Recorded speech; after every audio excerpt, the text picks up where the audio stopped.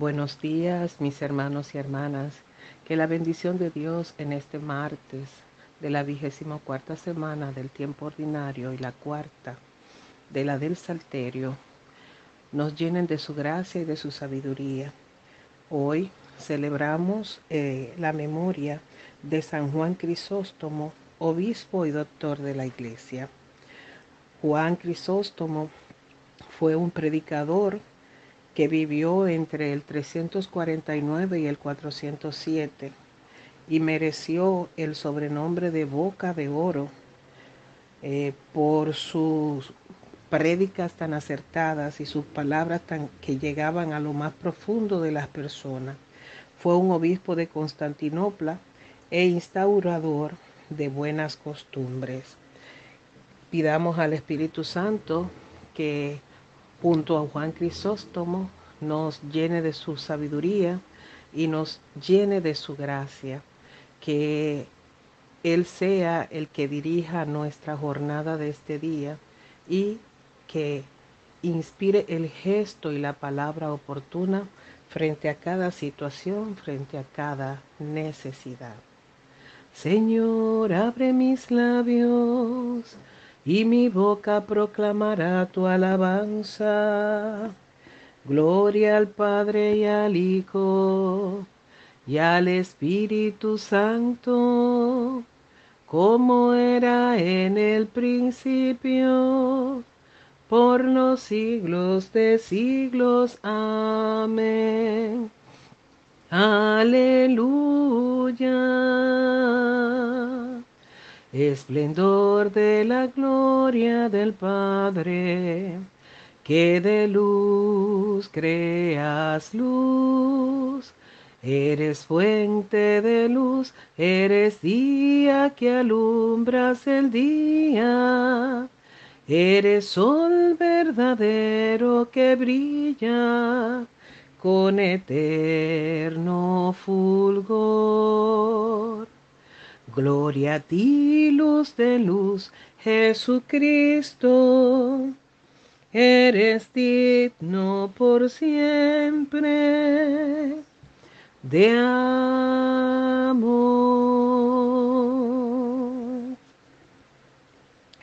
Para ti es mi música, Señor. Voy a explicar el camino perfecto. El Salmo 100, propósito de un príncipe justo. Voy a cantar la bondad y la justicia. Para ti es mi música, Señor. Voy a explicar el camino perfecto. ¿Cuándo vendrás a mí? Andaré con rectitud de corazón dentro de mi casa. No pondré mis ojos en intenciones viles. Aborrezco al que obra mal. No se juntará conmigo. Lejos de mí el corazón torcido. No aprobaré al malvado. Al que en secreto difama a su prójimo, lo haré callar. Ojos engreídos, corazones arrogantes, no los soportaré. Pongo mis ojos en los que son leales, ellos vivirán conmigo. Al que siga un camino perfecto, ese me servirá. No habitará en mi casa quien comete fraudes. El que dice mentiras no durará en mi presencia. Cada mañana haré callar a los hombres malvados para excluir de la casa del Señor a todos los malhechores. Gloria al Padre y al Hijo y al Espíritu Santo, como era en el principio, ahora y siempre, por los siglos de los siglos. Amén. Para ti es mi música, Señor. No apartes de nosotros tu misericordia. El cántico de Daniel 3 del 26 al 29 es la oración de Azarías en el horno. Bendito eres Señor, Dios de nuestros padres, digno de alabanza y glorioso es tu nombre porque eres justo en cuanto has hecho con nosotros, y todas tus obras son verdad, y rectos tus caminos, y justos todos tus juicios. porque hemos pecado y cometido iniquidad, apartándonos de ti, y en todo hemos delinquido. Por el honor de tu nombre, no nos desampares para siempre, no rompas tu alianza, no apartes de nosotros tu misericordia. Por Abraham tu amigo, por Isaac tu siervo, por Israel tu consagrado, a quienes prometiste multiplicar su descendencia como las estrellas del cielo, como la arena de las playas marinas. Pero ahora, Señor, somos el más pequeño de todos los pueblos. Hoy estamos humillados por toda la tierra a causa de nuestros pecados. En este momento no tenemos príncipe, ni profetas, ni jefes, ni holocaustos, ni sacrificios, ni ofrendas, ni incienso, ni un sitio donde ofrecerte primicias para alcanzar misericordia. Por eso, acepta nuestro corazón contrito y nuestro espíritu humilde, como un holocausto de carneros y toros, o una multitud de corderos cebados. Que este sea hoy nuestro sacrificio y que sea agradable en tu presencia, porque los que en ti confían no quedan defraudados. Ahora te seguimos de todo corazón, te respetamos y buscamos tu rostro. Gloria al Padre y al Hijo y al Espíritu Santo, como era en el principio, ahora y siempre, por los siglos de los siglos. Amén. No apartes de nosotros tu misericordia, Señor. Te cantaré, Dios mío, un cántico nuevo. El Salmo 143 es la oración por la victoria y la paz. Bendito el Señor mi roca, que adiestra mis manos para el combate, mis dedos para la pelea, mi bienhechor, mi alcázar, baluarte donde me pongo a salvo, mi escudo y mi refugio que me somete los pueblos. Señor, ¿Qué es el hombre para que te fijes en él? ¿Qué los hijos de Adán para que pienses en ellos? El hombre es igual que un soplo, sus días una sombra que pasa. Señor, inclina tu cielo y desciende. Toca los montes y echarán humo. Fulmina el rayo y dispérsalos. Dispara tus saetas y desbarátalos. Extiende la mano desde arriba. Defiéndeme líbrame de las aguas caudalosas, de la mano de los extranjeros, cuya boca dice falsedades, cuya diestra jura en falso. Dios mío, te cantaré un cántico nuevo, tocaré para ti el arpa de diez cuerdas, para ti que das la victoria a los reyes y salvas a David, tu siervo. Gloria al Padre y al Hijo y al Espíritu Santo como era en el principio, ahora y siempre, por los siglos de los siglos. Amén. Te cantaré, Dios mío, un cántico nuevo.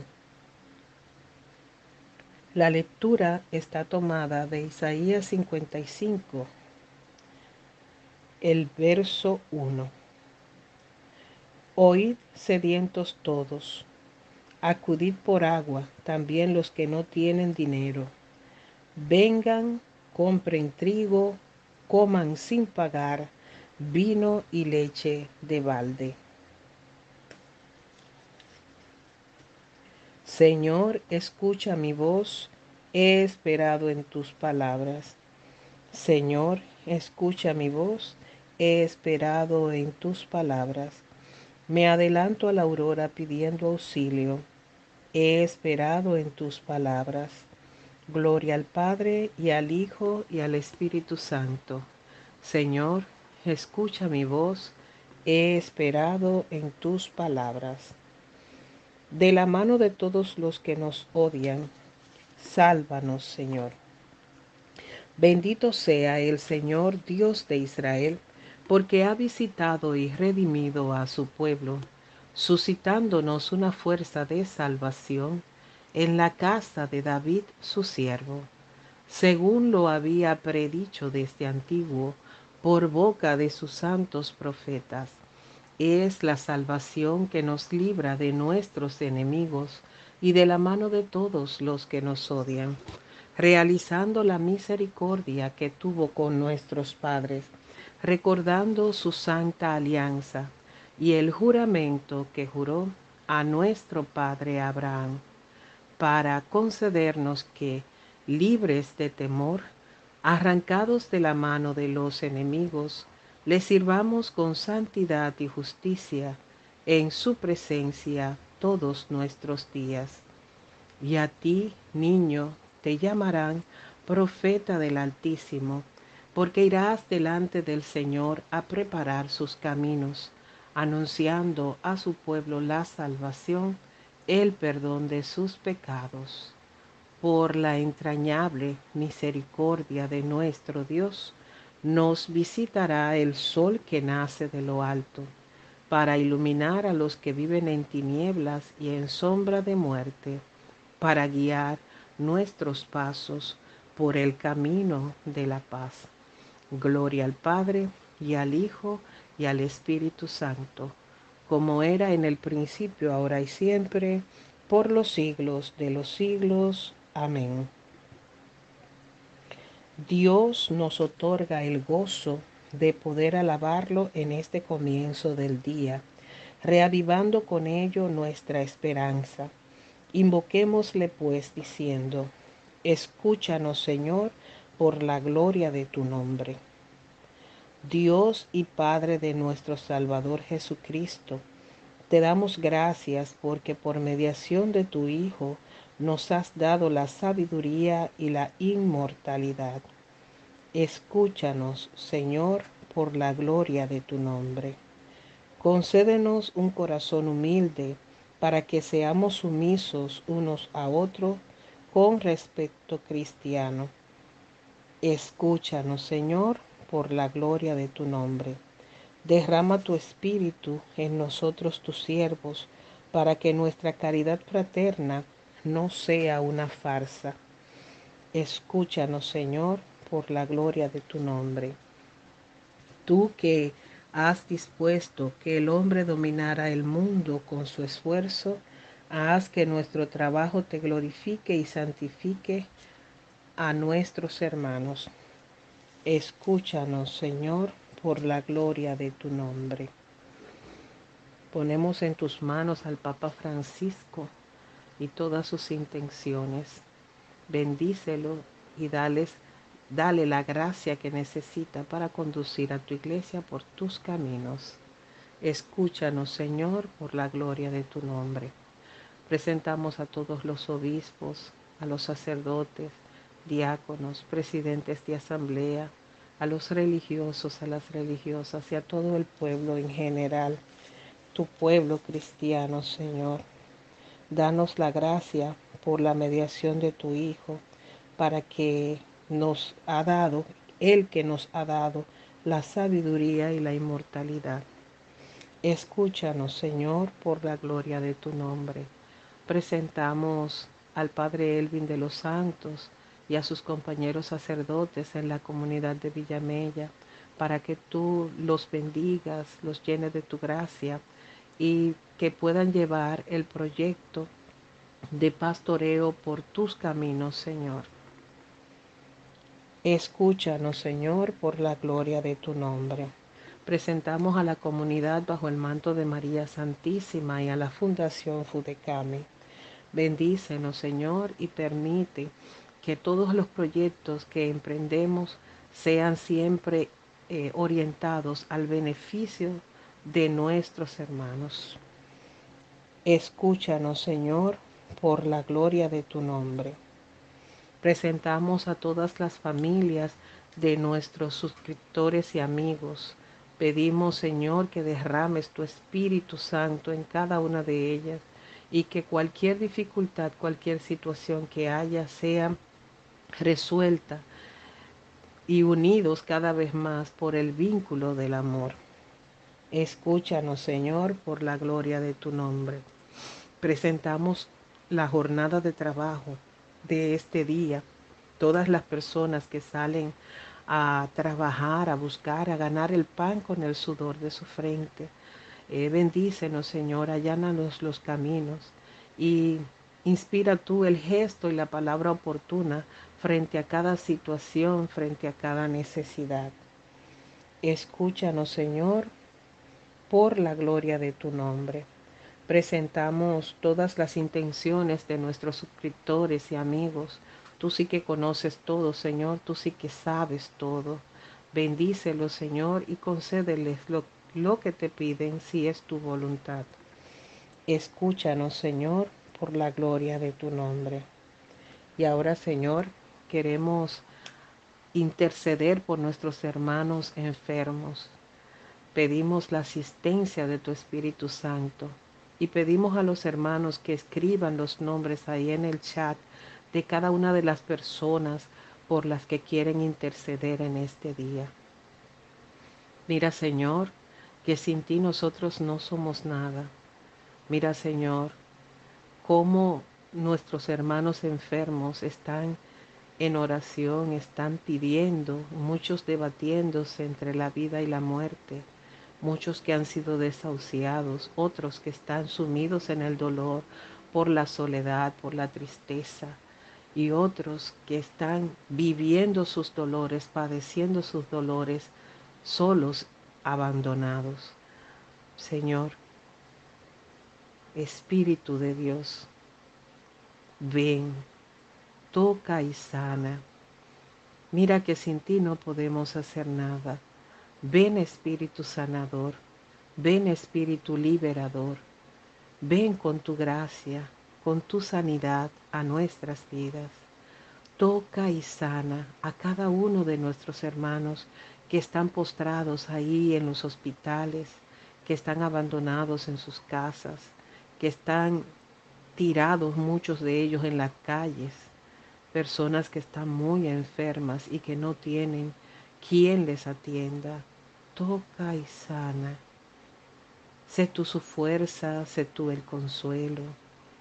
Acuérdate, Señor, de todos estos que sufren. Toca y sana. Paseate, Espíritu Santo. Acuérdate del Padre Elvin de los santos. Acuérdate de tantos y tantas que están padeciendo situaciones de salud con enfermedades terminales. Acuérdate de Sandy Hernández, Señor. Acuérdate, Señor, de que sin ti no podemos nada. Toca y sana. Bendito tu nombre por siempre, Señor. Llénanos de ti. Solo tú eres santo, Señor. Solo tú tienes el honor, el poder y la gloria. Por eso, creemos y confiamos en ti. Toca y sana, Señor.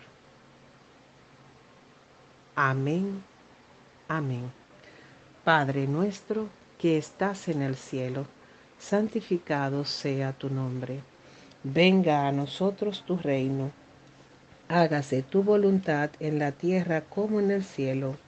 Danos hoy nuestro pan de cada día perdona nuestras ofensas, como también nosotros perdonamos a los que nos ofenden. No nos dejes caer en la tentación y líbranos del mal. Amén.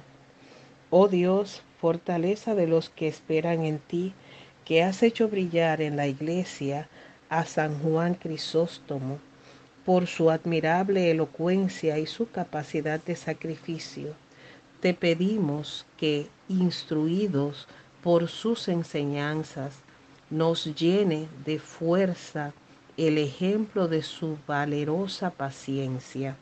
Por nuestro Señor Jesucristo, tu Hijo. Amén. Que el Señor nos bendiga, nos guarde de todo mal y nos lleve a la vida eterna. Amén. Seas amada, seas alabada, seas invocada seas eternamente bendita, oh Virgen del perpetuo socorro, mi esperanza, mi amor, mi madre y mi vida. Amén. Que tengamos un santo día en la presencia del Señor y recuerden que bajo el manto de María Santísima cabemos todos. Hasta mañana y grandes bendiciones.